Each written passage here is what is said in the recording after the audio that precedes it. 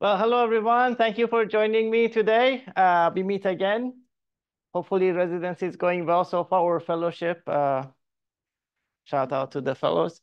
Um, so uh, what I'm going to do today is, uh, last year I did uh, a presentation on better presentation. and it was, uh, it was the first time I did this, so it was a little too long. So I broke it into two parts this year. So today is part one and part two will be coming up, uh, I think, next month. Uh, let me make sure this works. Maybe I need to turn it on. There you go. okay, so if you want to scan this, uh, the PDF is available to you. I will give you 20 seconds.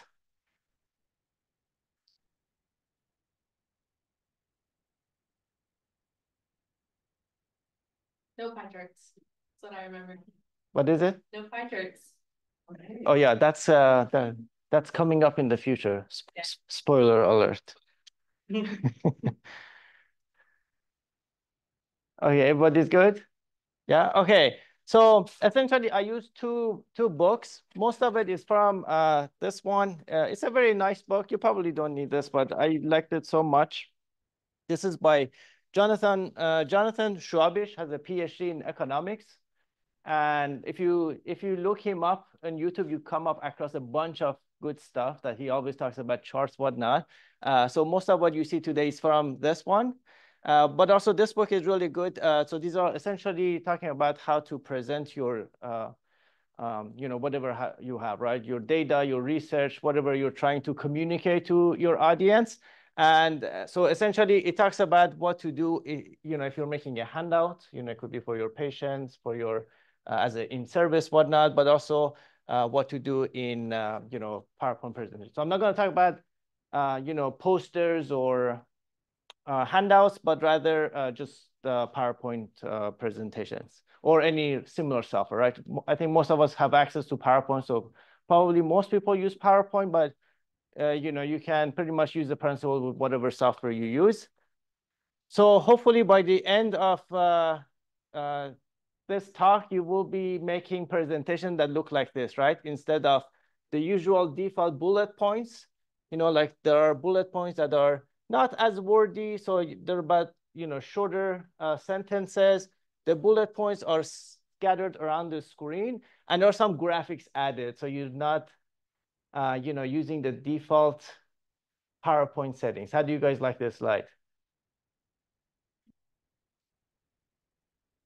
You don't like it? It's been enhanced to, it has graphics and... Oh, you still don't like it? Okay, so hopefully you can make something that looks like this instead. Yes, more modern, less words, uh, you know, uh, pictures, you know, sometimes pictures have a role, but, you know, hopefully you can use like modern icons, whatnot. I did not make this, it's, uh, you know, from, from the book. Okay, so when you put this side, side by side, I think we all agree that the one on the right-hand side, uh, probably better uh, for the eyes of, of the audience, right? Okay, so let's talk about some stuff. So like I said, there are two parts. So part one, I'm essentially going to focus on better slide design. So we're going to talk about color, color theory. I'm not by any means an expert in color theory, but we'll talk about some principles that we can all use. Uh, type, essentially things related to font and other things that we're going to consider, and graphics. So I put graphics last because usually people just talk about graphics and they don't talk about color and they don't talk about type. So I put that at last. Uh, you know, if, if we run out of time, like you guys can figure out graphics. And then in part two, we're going to talk about actual presentation, like well, what should be your opening uh, statement, closing statement, uh, practices, right? And by I, I, you know, you should never use me as an example. So I definitely don't, don't follow all the rules. I'm always learning. So, uh, you know, we'll look at some of the principles from uh, this book. So essentially, you want to use audience-centric design, right? What that means that you want to visual, visualize your content as much as possible. So the superiority of images over text and the spoken word is largely agreed upon, right? The second thing is you want to unify the elements of your presentation. Uh, so, you know, this means consistency from, uh, you know, your color, your font, uh, you know, uh, the overall structure of your slides. You want it to be unified throughout the presentation. And the third thing is you want to focus your audience's attention to what you're trying to talk about, right? Uh, so this could be something, uh, you know, if you have uh, a table, if you have uh, charts, you want to focus the uh, attention of the audience uh, to where you want. in fact, this slide is quite wordy. This could have been something like this, right? Visualize your content, unify the elements, focus your audience. You see, like the more the more text you put in there, the more it's difficult. And it's tempting to do this because it was easier for me to read it. So if I forget something, I could have read all of this, right? Uh, but it's not good for the audience. So you want to do something that's less wordy, big. The bigger the size, the better. So this looks much better, right? And sure, you want. Uh, I have some visuals on the side that's. Uh, I'll show you how to get all those graphics that look fancy. So, okay. So the three things hated by audiences doesn't matter what setting, right? So the speaker reads the slides. People don't like that. Don't read your slides, you know, as much as you can. Occasionally, sure, you can look at your slides uh, to see, uh, you know, what's on the screen. Sometimes I have seen people just avoid the screen so much that they're talking about something that's not on the screen because they forgot to advance the slide. So it's okay. It's actually good to look at your slides to make sure it's it's following following with what you're talking about.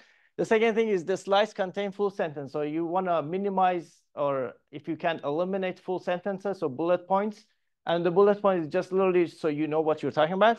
And uh, if the text is too small, right? So good uh, rule of thumb is uh, go to the back of the room. If you can easily read it, that's a good size, right? So because, so, so in other words, in a smaller room, you might get away with a smaller size.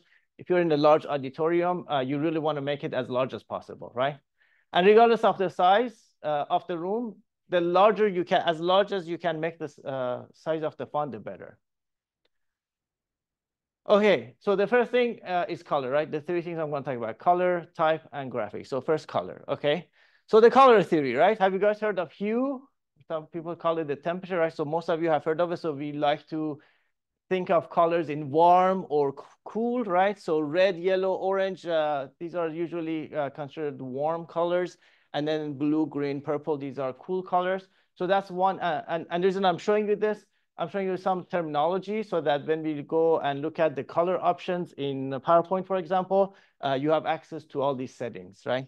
So that's hue.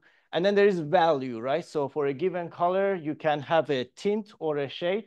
So a tint, uh, essentially you add white to the whatever color you choose. So let's, let's say if uh, you have red, you can add a tint to it, or you can add a shade. So it essentially adds uh, black to the color. And the third one is saturation. So saturation essentially is the intensity uh, of the color. And I'm going to show you like uh, some of these options in uh, PowerPoint. So you all have are familiar with the color wheel, right? Here's the wheel of the color. Uh, so essentially, so the standard, I mean, depends on what color wheel you're looking at in general, the standard color wheel shows you the hue in the center, and then there are shades and. So for every color, right? So, you know, you can essentially add black or white, so you get, um, you know, more colors in the wheel.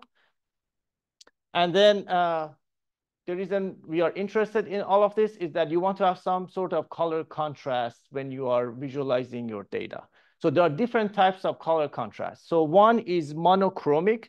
So essentially, this is like a single color, and you're uh, essentially playing, um, you know, it's it's on the color wheel, it's on the same radius. So if you look at the color wheel, so you can see these are like uh, on the same radius. So essentially, you're looking at the tints and the so uh, here's an example of its use. So essentially, you know how I said you want to focus the audience's attention to what you're talking about. So if you are looking at a chart, if you're talking about this one, so you want the color to be a little different, so you want some contrast in there, right?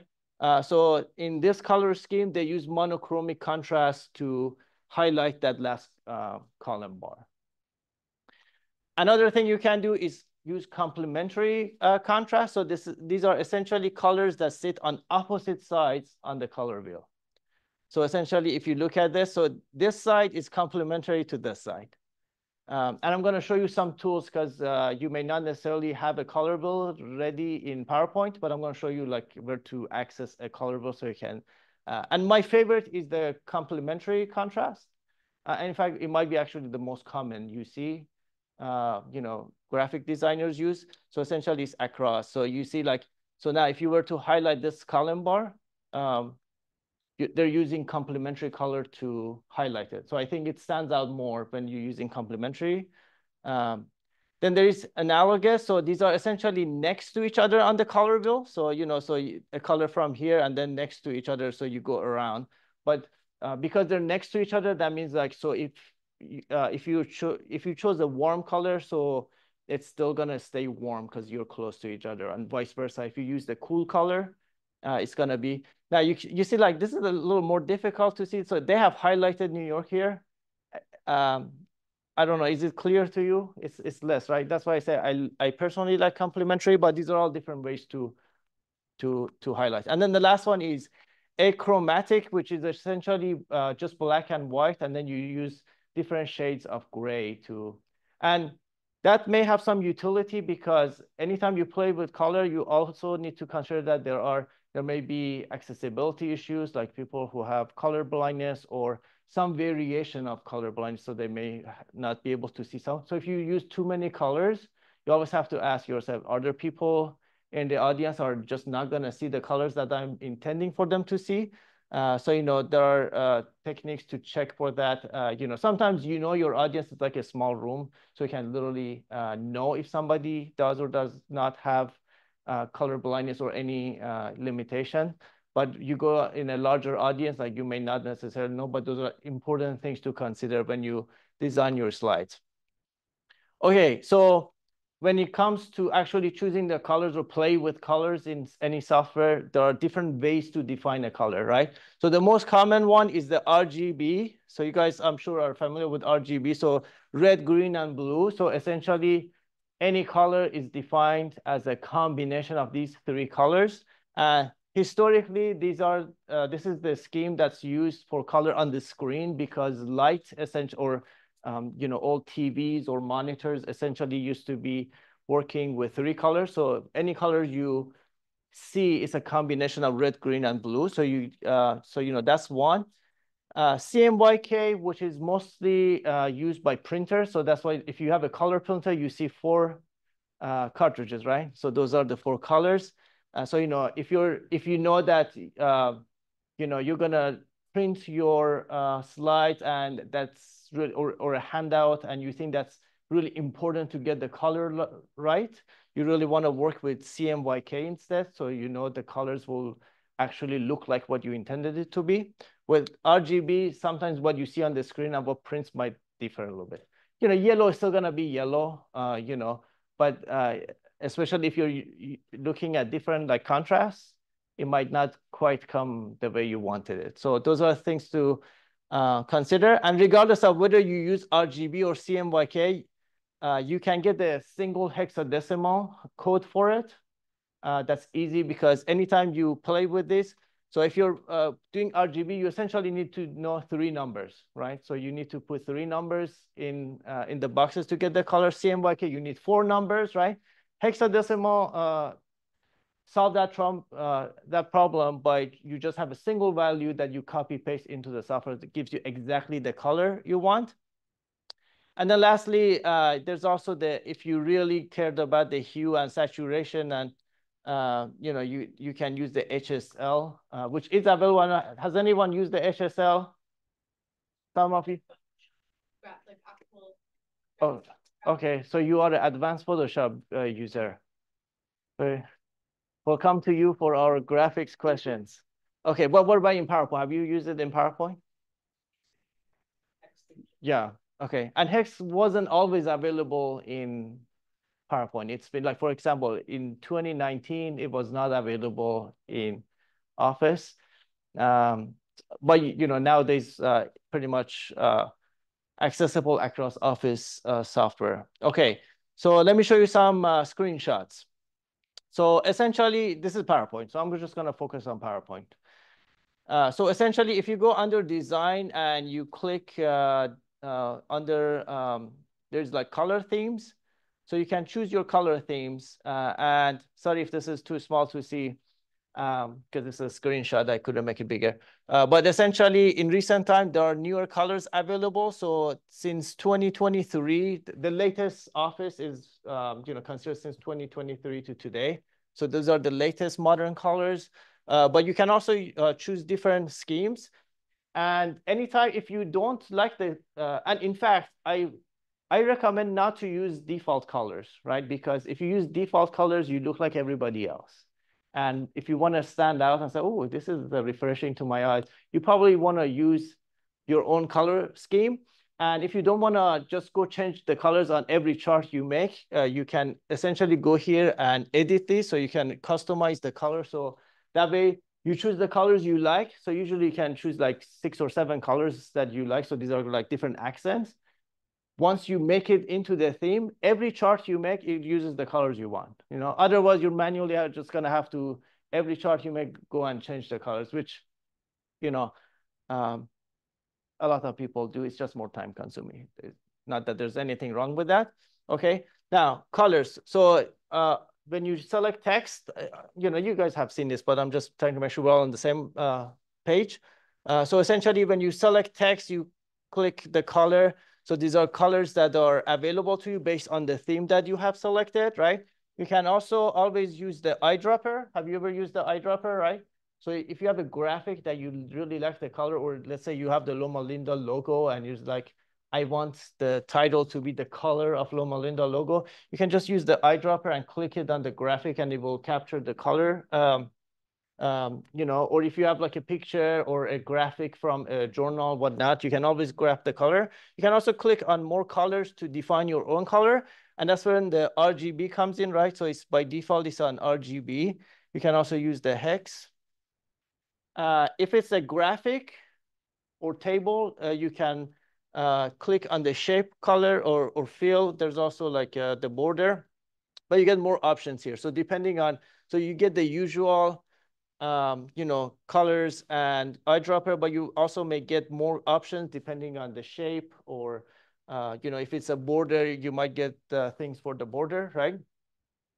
Uh, the other option that in recent time Office gives you, you can actually select high contrast.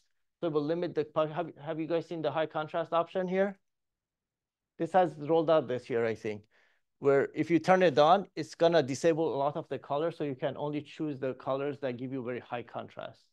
Okay, uh, I don't usually use it, but um, uh, but anyway, so if you click more color, uh, now here I by default it's on RGB, but you can change it to HSL if you if you know if if hue saturation and not mean something to you, you're an advanced graphic designer, you can do that. But hex is always there, and sometimes you also have transparency. So on shapes and tables, you also have transparency that I'll talk about in a little bit.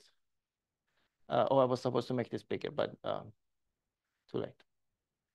Uh, the other thing is uh, anytime you have a graphic, I just took a screenshot as I was making this PowerPoint. I just used a screenshot of this to show you the option. So anytime you click a graphic, uh, you can click color and it lets you, uh, you know, change the tone, change the saturation, so you can play with those things. So those options are available as you play with uh, color.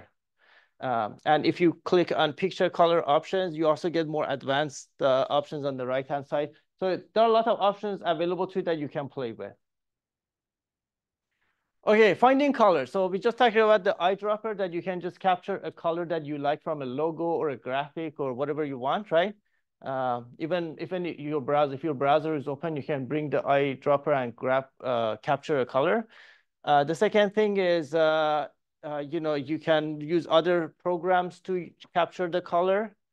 Uh, one thing that's a powerful tool is Adobe Color. Have you guys used Adobe Color? You you have used use a photo, you use Photoshop. So this is free. Photoshop is not. Photoshop, um, uh, uh well, I don't know. I think it's like 20, is it like $20 a month, isn't it? It's on subscription. Um, yeah, I, so I don't have access to uh, Photoshop, but Adobe Color is free. You just go to color.adobe.com, free account, log in, and uh, maybe I should click on it. Um, let's see if it lets me in. So uh, when you go here, essentially you uh, you have you can create your own. So this is where you get the color wheel. Okay. First of all, you can say, "Oh, I want complementary colors." So see, this is the color uh, color wheel, and you can choose different uh, um, you know color modes. I like the RGB, but essentially, so this gives you these colors. These are all uh, com uh, complementary contrast, and then it gives you the hexa that you can copy. Uh, but then you can play with it. You can pretty much uh, move these around, right? You see how you, you move this around, you get different sets of color. And this is free. And then you can save it to your library. And if you don't want to play around with this, you can actually explore their library. They have like a ton of color uh, color schemes that people have put together, like professionals like her, you, you probably have contributed to to the to, to this library, right? So professionals have already selected a lot of cool colors that you can just uh, choose for free. So so play with this, including you can actually when you create, you can actually upload. Uh, where is the option to upload? Um, oh, here. So you can upload a graphic that you have and it will search and choose color theme that goes with your graphic. So it's uh, all of this for free. Yes. Yes. Um, it's coolors.co, but coolors is C-O-O-L-O-R-S. Yeah, O-R-S dot C-O. And uh, if you just want a really like simple way to just see examples of color themes or color palettes, um, it's not just like, uh, you can go to explore trending palettes underneath start the generator. Uh, Where is it? Uh, oh, here? so that, right there. Uh oh. Um, so it's not limited to just like four or five colors. You can, sometimes they'll make like Oh, excellent. So similar to Adobe Color. Yeah. Is this free too, right? When you search, you have to pay for like the higher amount. If you want to search like, I want one with like blue, teal and green, you know, like two different search terms, but uh -huh. just like browsing. okay, excellent. Thank you. So uh, I'll add it to the slides for next year. So, so anyway, the point is, don't go with the default colors. There are plenty of professionals out there that are recommending other colors, so go with other colors within reason, okay? So for example, here's a color scheme that goes well with this picture, right? Here's a color scheme that goes with this picture. Imagine like you're opening uh, uh, when you have the title, that's the background and the title, and then the rest of your slides go with this theme, right? Uh, and you know, there are different combinations that you can try. Uh, and then uh, the contrast you know, again, it's important because you want to focus the attention of the audience to the bar that you're talking about, right? Um, so, you know, these contrasts are good because it stands out uh, for that last column. You see, this is this is good. So these are examples of good contrast because your attention immediately goes to New York because supposedly I was going to talk about New York on this slide, okay? All right, so here are some recommendations from the book uh, for color use. Minimize using default uh, colors, right? Second is don't stick with black and white only because uh, you can do much better. Avoid too many colors. Okay, so most of these limited to four to six colors. Don't use 16 colors. Okay, don't use the entire rainbow uh, unless it goes with the theme, you know, uh, sometimes, uh, you know, you, you, you, actually need a rainbow, uh, but in general, avoid too many colors. Use colors that are legible in black and white prints. So you can always go print preview, see what it looks like in black and white, because most people, when they print your slides, they're gonna print black and white. Most people are not gonna print in colors, right? So make sure they can still read it uh, and the graphics are clear. Uh, use color intentionally for spotlighting, like I showed you with New York uh, in those charts.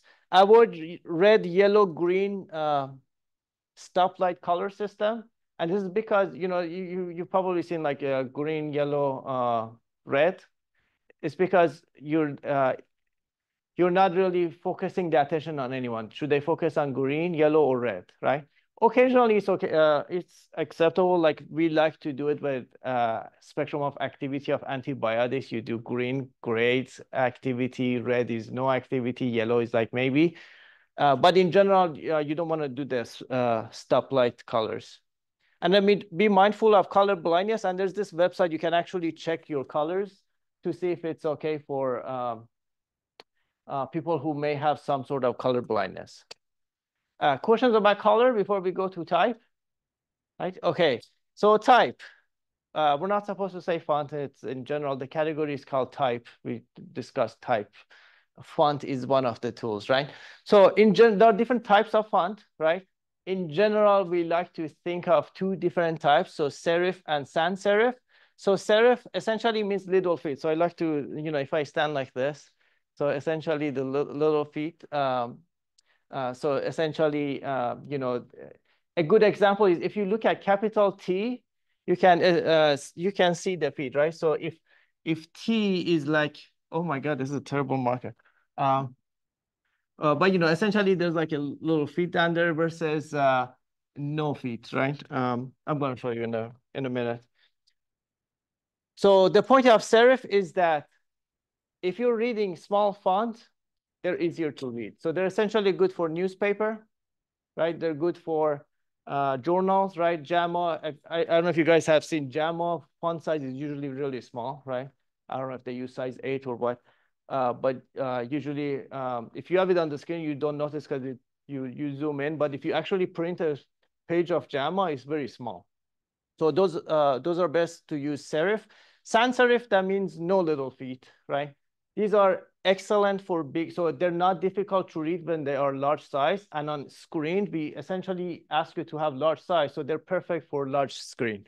Now, why not always use serif if they're uh, easy to read small? Why not always use it? Because sans serif looks more modern and they all they look much nicer on the screen. So that's why you on the screen you do want to use sans serif. And here are some fonts. So you see like Times New Roman, you see all the little, uh, actually I put the T here so you can see the, the bottom of it, you see? So anytime you're not sure, just do a capital T, you can. So these are all good for print. So if you have a handout, right, um, you can you can use this. Uh, otherwise, uh, sans serif. My favorite uh, are actually, uh, we moved on, thank you, thank you, uh, appreciate it. Um, so essentially, uh, I have discovered these three fonts that I really like, Open Sans, uh, Raleway. Uh, in fact, my, my title, uh, on my slides, the title are using Raleway and the text is using Franklin Gothic. But you know, there are other, other ones that you can use. Uh, don't use Comic Sans, and I will tell you in a minute why not use uh, Comic Sans. but those are all sans serif. And you can explore other fonts. So there is Google Fonts. Have you guys heard of Google Fonts? Did you know Google has Google Fonts? Some of you did, right? Free. You go to fonts.google.com, a ton of fonts you can explore, and you can download it for free. Okay, and there are like other websites that you can play with. Uh, so, you know, uh, again, the point is don't use the default font because everybody else is using default font. So if you don't want to be like everybody else, if you want to stand out, you use a different font. Uh, that's nice. You know, don't use um, you know very bad fonts that are uh, difficult to read. But but because people go from presentation to presentation and everybody's using default font, they come to you and you suddenly have a different font. They're like, oh, this is. Uh, uh, I don't know what they may not notice it's your font, right? I'm like, oh, this is interesting. It's uh, uh, it's it's appealing to my eyes, but it could be the font.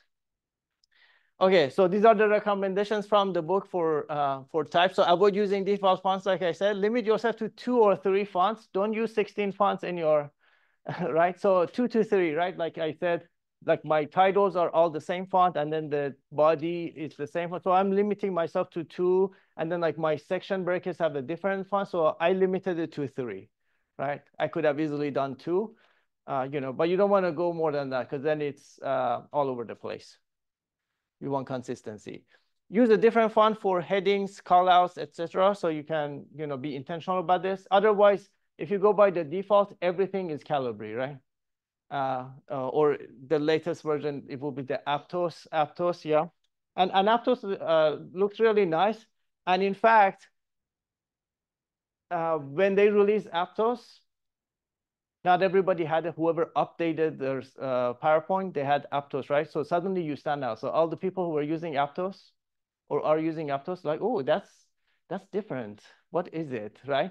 But it's a default font. So it's a matter of time before everybody is using Aptos. So then you go back to the background that everybody is using Aptos. But right now, still the default for most people is Calibri. Um, so, um, okay, uh, if you decide to use multiple fonts, use them consistently. You know, uh, a good uh, always go to your ma uh, what's it called the mass uh, slide master, right? Uh, instead of changing fonts on every slide, just go to your slide master. Change. Uh, have you guys seen the slide master? You know what I'm talking about? so essentially, if you go to view, go to view, the slide master is up here. You guys see the slide master? And then, um, so this is what I have done. So you click here. I have changed the font for my titles to Raleway. And I have changed the font for my body to Franklin. So once you do that there, all of the slides will be updated. So all of them, you, you know, Raleway here, it just doesn't do it to the uh, images. So any graphics like this, I had to go, like you see, this is Calibri, this didn't change. So I needed to go and manually change this to Franklin. Um, okay, but the actual body, uh, let me find the body. Where's the body? Like these, these already changed to Franklin. Okay, but uh, but anyway, uh, you go to Slide Master, uh, you can change. Uh, it's, it's essentially like a template, template for your for your PowerPoint. Okay, where was I? I was here. Okay, that way you make sure that it's consistent throughout your uh, presentation. Uh, avoid page numbers. How many of you like page numbers? Get rid of page numbers. Because people are looking at your page numbers and you are looking at your page numbers like, oh God, how many more pages do we have left? It's a distraction. It's unnecessary. Everybody's recommending do not use page numbers. It's um, you know, it does it doesn't do good for everybody. So get rid of your page numbers. I used I loved page numbers. I used page numbers for many years. I read this book. I got rid of all my page numbers. Um, okay, uh, make your text bigger, like we talked about. Um, oh, you can use the slide sorter. You, you guys know this view when you go to see all your slides. So a good rule of thumb is uh, if you go here and you can read your slides, that means it's uh, it's large enough. If if you go here and you cannot read, now I have another problem that this is a poor, uh, this pro uh, projector is bad to begin with, so maybe I cannot read it just because of that. But if you go on your screen and you can read your own slides in this view, it's probably large enough. If you cannot, that means it's too small. Uh, number seven is declutter and use less text, as we discussed before. When possible, convert your text to visuals. Oh, I'm going to show you a, a hack. You guys, uh, so for example, you see anytime, uh, have you guys ever done the convert to smart art, right? Most of you done, right? That's like a such a, so just uh, type four bullet points. You just right click, you go convert to smart art, and then you can, you know, play with different things right? So you decide, you once you click it, then you can go here and you can even change it even more so you can play with different things, right? You see how quickly, uh, so that's that's a good hack, but I don't like this, so I'm gonna go back. Do You have um opinions on when people say like you should put everything on the slide so people can go back to reference them later? So it depends on what you're doing. Like if you're teaching a lecture, for students. So in fact, uh, my lectures have full sentences because I want them to read them, right? It's, it's like uh, um, material to study for a test.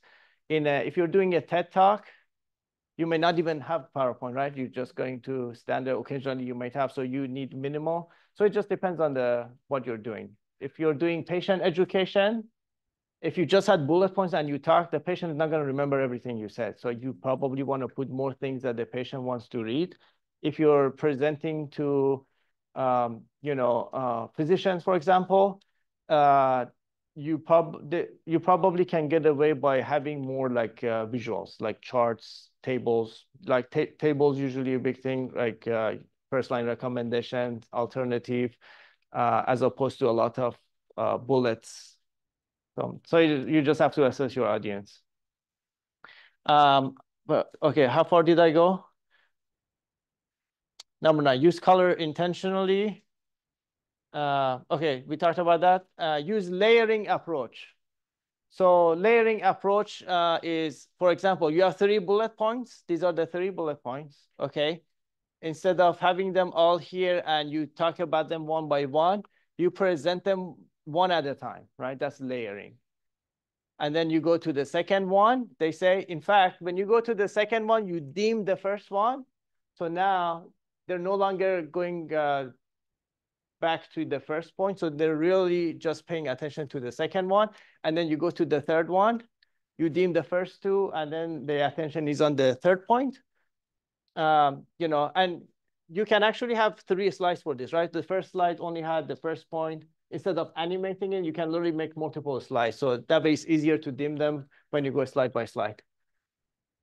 So since they said that, I started to do the same thing. Uh, moving forward in this presentation, I will do the layering. Uh, so I deem the first one, uh, the first four points. Okay, the next one is embed the font in PowerPoint and PDF. So when you play with fonts, anytime you're not using the defaults, you are at risk that if you go to, uh, you know, wherever you're presenting, if they don't have the font in the machine, you're screwed. So what you want to do is you want to go to the options, go to the save. This is in PowerPoint you want to check the embed uh, fonts in the file and click, uh, click embed all characters. So when you do this, it will hold the font in the PowerPoint file. So wherever you go, if the font is not available, you're not in trouble. It will bring the font with you, okay? But that's important because if they don't have it, you, you're gonna panic last minute. And, and PDF already does this by default. So if you save it in PDF, you don't have to worry about font. Okay, what question do you guys have about type before we jump to graphics? Good, okay. So then uh, most of you are graphics experts, uh, so uh, this one uh, should be easier. In general, uh, you want to make your images, uh, you want to use images, but also don't be afraid to use them full screen, right? So imagine here's a here's a slide. It's very wordy. We want to improve it by adding a graphic. So we got rid of some of the text and we added the graphic, right? don't be afraid to make this full screen. Take it, in fact, you know, uh, so the text is on top of the graphic now. It's much more immersive, right?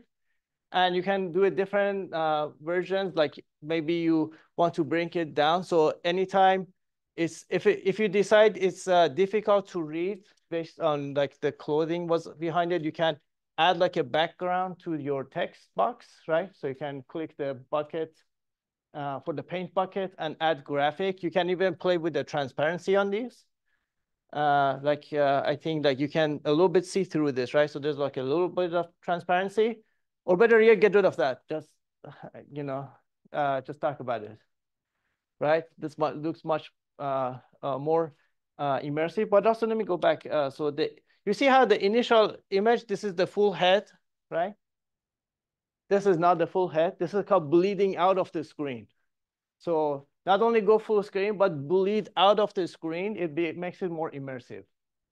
Um, I, you know, now this is like a general, a generic example, but depending on your topic. So if it's, uh, I don't know, like bacteria, what have you, you can have like this massive image that bleeds out of the screen. So uh, looks more uh, immersive. Okay, uh, so transparency. So anytime, so like you know, uh, you can add uh, background paint to text box, to tables, uh, to, to shapes, right? So not only can you uh, change the color, but you can also change the transparency. So you can play with the transparency so you can kind of see through it. Sometimes it makes it look nice. Depending on the software, they may call it alpha, um, alpha channel, right? PowerPoint calls it transparency. Have you guys played with uh, transparency? Yeah, yeah, most of you know this. Okay, uh, so here are some tips. Unify the image and text. So for example, if you have an image, uh, this is Seth Godin. You guys know Seth Godin? He's like a, uh, if, if you look him up on YouTube, his, his talks are, he, he's like in marketing, but uh, his talks are so good. You you find yourself sitting there for an hour just listening to them. But anyway, you see how here's the text and this is the image and he's looking away from it. It's as if it disagrees. He disagrees with this.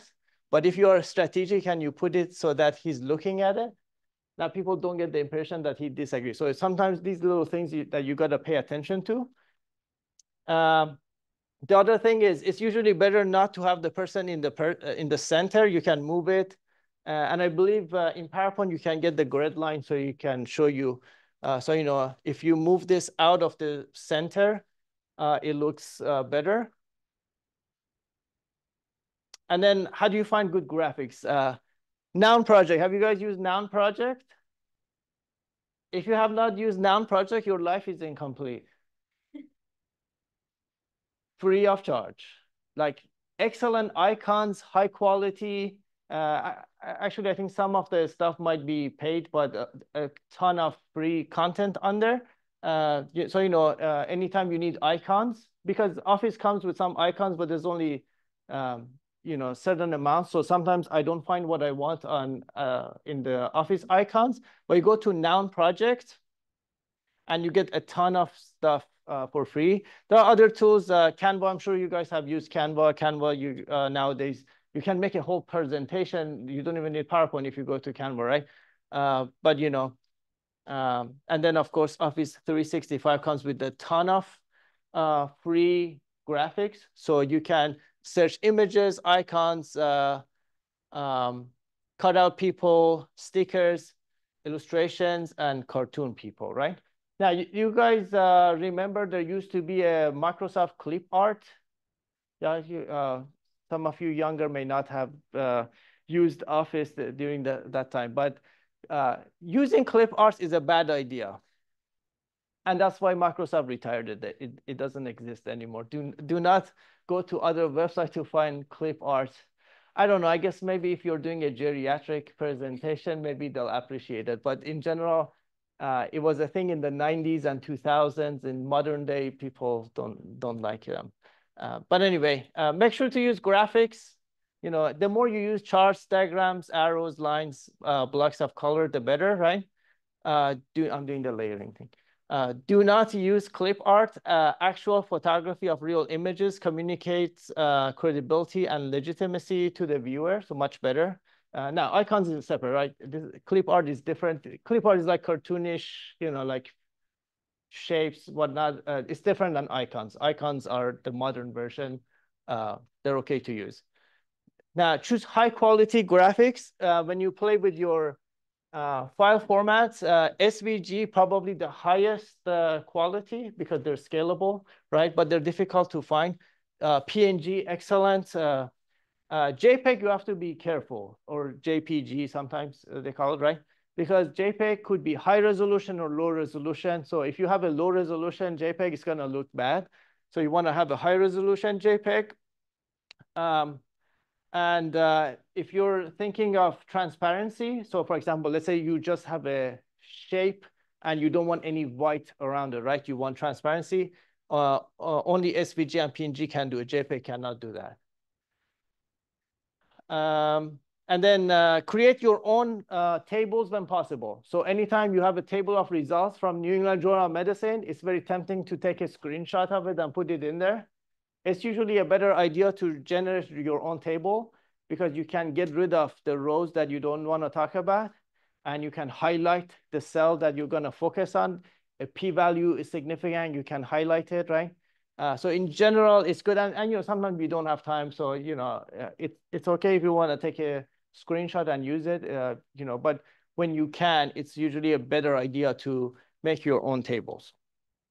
Uh, use emotional images, tap to the emotions of your audience, right? Like you're doing a pediatric talk. Uh, you know, a child on a mechanical ventilator is a very emotional picture. You know, you put that full screen, you bleed it out of the screen, you know, that's that's gonna touch the emotions of your audience. So, so you know, those are things you can do uh, with emotions.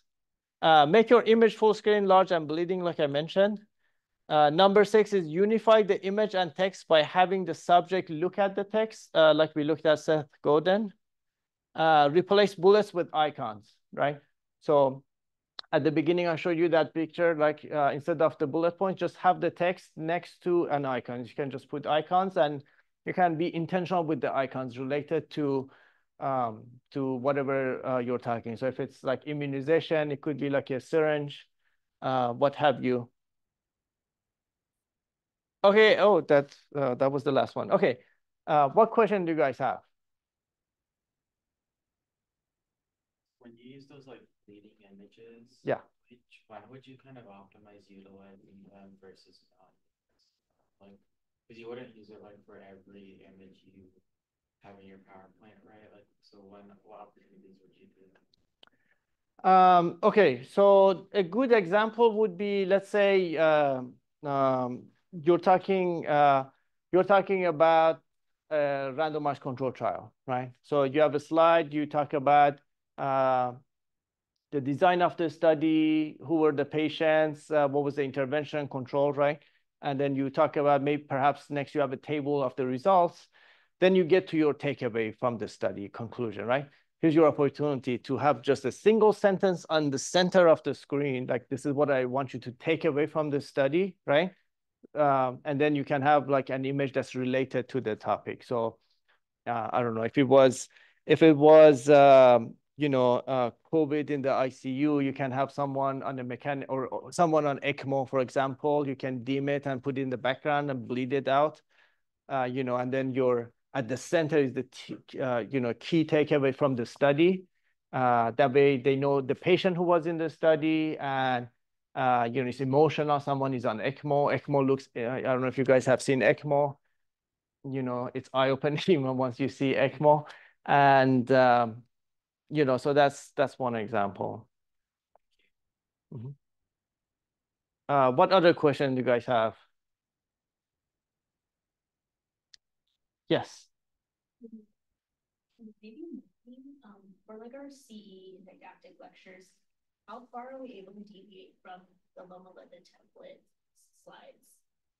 Like, are we able to go like change the template slide, or do we have to use the Loma Linda template? Pretty much, I think we're required across the institution to use that if we're doing presentation on the side. Mm -hmm. And because your CEs are, you know, reaching outside LLUH, they want us marketing central marketing wants us to use template, and I, I'm sure you can play with it. Uh, Dr. F, I don't know if you have any advice on this. I'm sure minimally you could do uh, some changes if you wanted to. Pretty much be. Yeah, I absolutely hate the template. So, uh, so what I do, I definitely use the template. They don't tell you not to change the font. They don't tell you not to change the color right?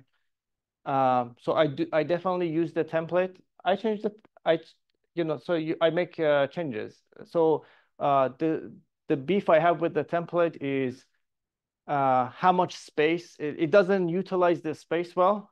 The bullet points are atrocious, right? Who uses the double, um, uh, you know, it's the antithesis of this book, right?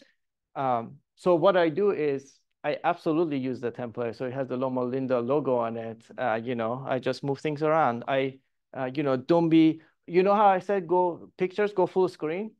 Guess what that does? That covers the template. Bleed out of the screen, you're using the template, but it's uh, covering what you don't want to see. And anybody you like, but I absolutely use the template, but you know, I put other content in there. So I hope that helps. Yeah. Because uh, don't use the default font. I don't know what font is in there. Um, but that's that's coming from the universities outside of our uh, control, or I would have um, changed it. Other questions? Um, so I didn't know how much time this would take. Uh, so since we have uh, some time, I was just gonna show you a couple of techniques. So the first thing that's uh, to your um, Uh, and, and, and Catherine, I, I do have the slides if you, uh, I know you weren't here when we, um, if, if, if you want, you can take a picture of that. It has the PDF. Uh, how many of you do the transitions when you go from slide to slide, right? So, uh, so that's the other thing, right? Oh, and I forgot to tell you about Comic Sans. Let me tell you about comics, uh, comics. So don't use Comic Sans. In general, it's considered unprofessional, right? In our field, uh, the only exception is if you're presenting to children, if you are in the pediatrics, in the pediatrics world, by all means, use Comic Sans. It makes it like chill, you know. Uh, but in general, it's considered not the most professional font, uh, you know. So people may disagree on this, you know, but as far as I can tell, most people agree that Comic Sans, you do not want your resume to be in Comic Sans, right? You do not submit your letter of intent to residency in Comic Sans, right? And you shouldn't do, uh, if you're presenting a CE, don't use Comic Sans. Your email should not be in Comic Sans, right? Uh, and I don't understand people get into debates like like, oh, I disagree with this. Uh, oh, well, if if a good chunk of people agree that this is unprofessional, why do you want to risk, right? Because somebody in the audience is gonna think you're unprofessional because you use Comic Sans. So I say stay away from Comic Sans. Unless you're presenting to children at the children's hospital, then by all means, use Comic Sans. I think it's kids friendly. Uh, so that's about Comic Sans. Uh, the other thing I was going to show you is, oh, the transitions, right? So transitions, people say, oh, uh, you know, and also animations, you don't want it to be too distracting, right? So like I use mostly the push, right? Uh, the push wasn't too distracting yet. It was like, uh, I don't know, how did you guys feel about the push transitions? Not bad, right? It was, it was quick, it didn't waste time, and it was not the default, right? and uh, it wasn't too distracting, okay? Uh, now, I could have done things like, uh, let's see, what is fracture? Fracture, okay, that's probably pushing it. Um, crush, I don't recommend crush. Airplane, definitely don't, don't do it, okay? Uh, okay. uh, what oh, origami. Yeah. Don't do any of this. Unless you're at the children's hospital, then by all, by all means, you're presenting to a group of uh, children, uh, you know, about uh, their medications, uh, by all means. But but here's the your here's your friend, Morph. How many of you have used Morph? What did you do with Morph?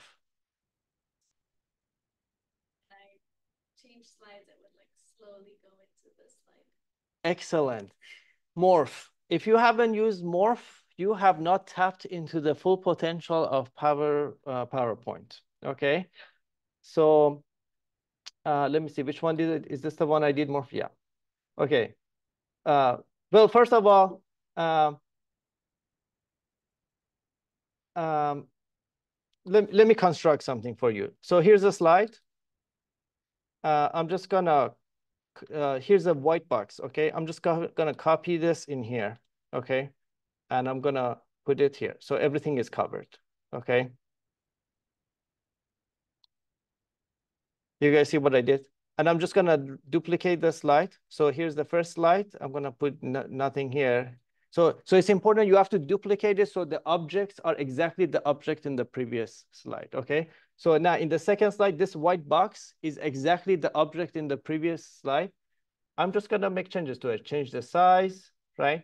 Actually, I'm just I'm only gonna change the size, bring it down to here. It's the same object, and I'm gonna click morph. So what it does, it morphs from every other object stayed the same, but that white object is the only one that changed. So it's smoothly, uh, you know, change the size of it. So that's one thing. The other thing is, uh, like she mentioned, uh, uh, let me see if I have done it here. Yeah. So, so you see like uh, here, I put the content of the next slide up here and I move them around. And I put the content of the current slide under uh, in the next slide, and then I morphed that. Uh, so, so here's what it would look like, right? So here's uh, here's the slide. And remember, in the next slide, I put this stuff at the bottom, and the stuff of the next uh, slide is at the top, It's like all scrambled. So here's what it looks like. You see? Yeah. So so morph, you can do a lot of stuff with morph. So if you haven't used morph, you got to play with it. There's a lot of good things you can do with it. Um, and then one more thing I will tell you, Zoom. Have you guys used Zoom? Zoom as in not not the like insert Zoom. Um, over Zoom? Uh,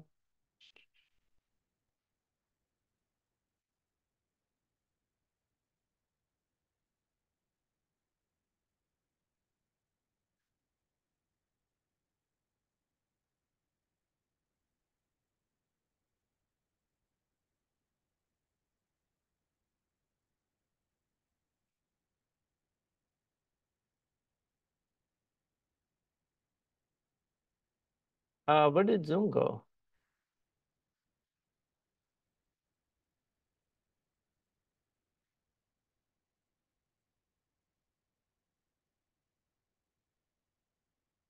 Oh, here it is, under links. Um,